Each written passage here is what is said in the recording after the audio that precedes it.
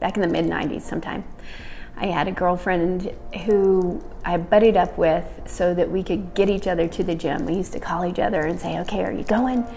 Yeah, that was the only way I was going to make it to the gym, as if I had somebody else holding me accountable.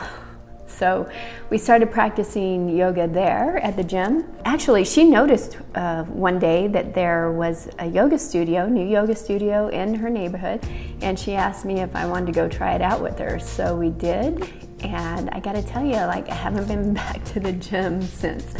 That's a little bit of an exaggeration, but really, like once I did hot yoga, I just realized I was able to get my workout and not only did I receive the benefits of this great sweaty workout, you know, got the endorphins pumping, but I also just had this added layer of yoga on top of it, which meant that I just came out of there in a completely different state of mind.